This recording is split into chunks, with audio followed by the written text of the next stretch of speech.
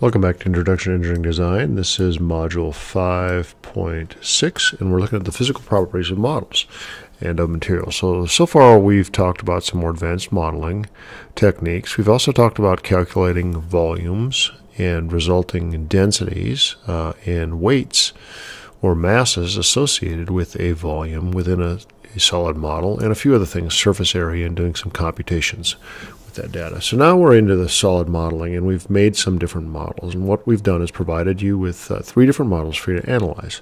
So I'm just going to talk about a little bit of what, what you can analyze within your SOLIDWORKS models. So you'll see open on my screen. Uh, I've got a sample part. This happens to be part three from the exercise. Uh, and it's a solid model with a V loft cut, similar to what we did for our exercise in class.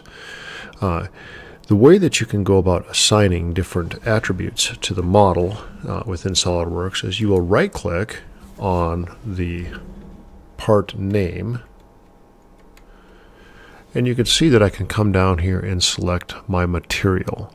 Here I can I have a few drop downs that are just there and I can also edit my material. So if I come in and go to edit my material you'll see that I've got a whole different range of materials here. So if I go to other metals and let's say I make this out of pure gold, it's going to tell you uh, what units you can make your material properties out of.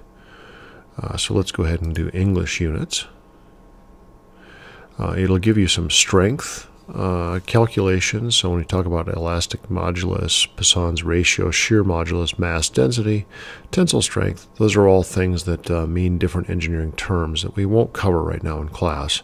Uh, we talked about mass density, what that means, and that will be applied directly here. So I'll go ahead and apply that to the model. And you're going to see that when I do that, I get a color in addition to some different attributes. The attributes I can view by coming over here to the Evaluate tab, clicking on that, and I can come in and I can choose Mass Properties. Within Mass Properties, I'll now see the density that's used in these calculations, the resultant mass in grams, the volume in cubic centimeters, the surface area in square centimeters, and then the center of mass. So what the center of mass is, can be best described as is where is this where does this object's mass lie as a point? In other words, if I put a pencil underneath the bottom of this model, where would I have to put the pencil to balance it? If I put a pencil on the side and flip the model up, where would I have to put a pencil to balance it? And if I put a pencil in the middle. So you'll see right here in the middle of this, uh, I've got my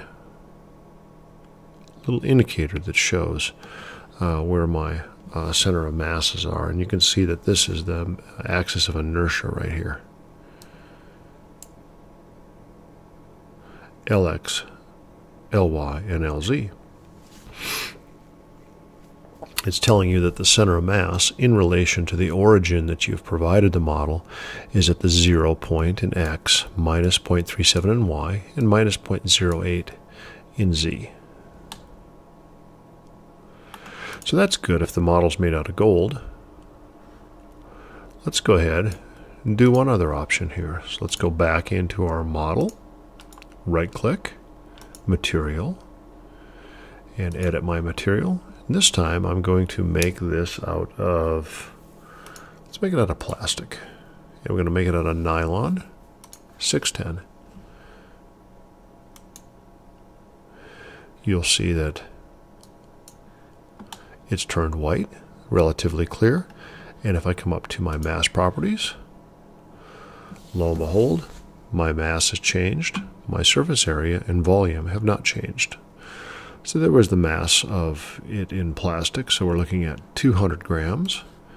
And again, we'll look at the mass of it in gold.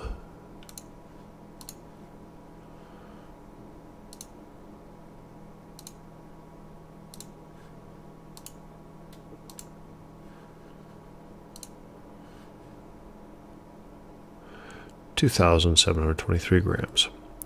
So that's how we look at the physical properties in SOLIDWORKS and just a few of the physical properties that SOLIDWORKS will display.